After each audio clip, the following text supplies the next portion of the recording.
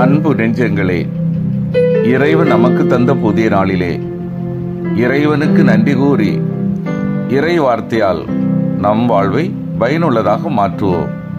இறைவன் நம் அனைவரை நிறைவாக ஆசிர்வதித்து பாதுகாத்து வழி நடத்துவாராக. இன்றைய நற்செய்தி வாசு சிந்தனை திருமுழுக்கு யோவான் சான்று பகர்தல். யோவான் நற்செய்தி நூல் பிரி ஒன்று இறை சொற்றொடர்கள் பத்தொன்பது முதல் இருபத்தெட்டு முடிய. இதன் விளக்கம் அறிவோம் யோவா நற்செய்தி எழுதப்படுவதற்கான காரணங்களுள் ஒன்று இரண்டாம் தலைமுறையினருக்கு சான்று பகர்தல். எனவே இந்நற்செய்தியில் சான்று பகர்தலுக்கு முக்கிய இடம் அளிக்கப்படுகிறது. இப்பகுதியிலும் இயேசுக்கு சான்று பகரப்படுகிறது. சான்று பகர்வராகவே காட்டப்படும் திருமுழுக்கு யோவான். இங்கு எதிர்மறையாகவும் நேர்மறையாகவும் இயேசுக்கு சான்று பகர்கிறார். எதிர்மறையாக தாம் மெஸ்ஸியாவோ எலியாவோ இறைவாக்கினரோ அல்ல என்கிறார். நேர்மறையாக தாம் இயேசின் வருகைக்கு தயாரிக்கும் ஒரு பாலை நில குரல் என்கிறார்.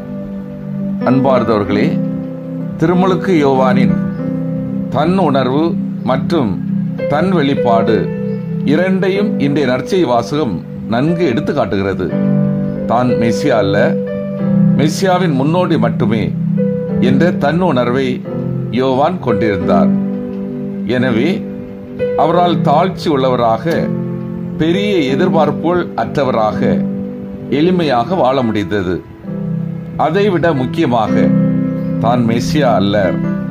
அவரது முன்னோடி என்பதை தன் வெளிப்பாடாக பிறரிடம் வெளிப்படையாக ஒப்புக்கொள்ளவும் அறிக்கையிடவும் அவரால் முடிந்தது.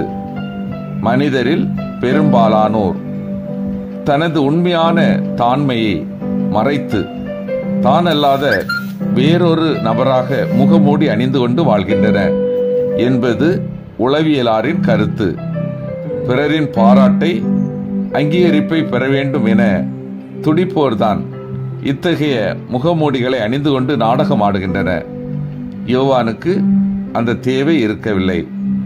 ஒரு முன்னோடியாக மிதியடி வாரை அவிழ்ப்பவராக இருப்பதில் அவர் நிறைவு கொண்டார்.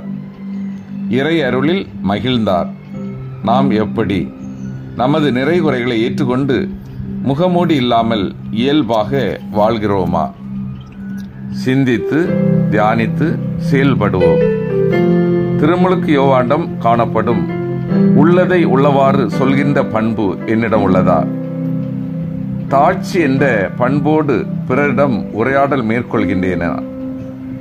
முகமோடி அணிந்து போலியான வாழ்க்கை வாழ்கின்றேனா? மன்றாடுவோ வல்லமை மிக்க இறைவா நாங்கள் அனைவரும் எங்களிடம் காணப்படுகின்ற முகமூடியை அகற்றிவிடவும். தாழ்ச்சியோடு வாழ்ந்து பிறரை உயர்வாக கருதி செயல்படவும் வரந்தாரும் ஆமேன்.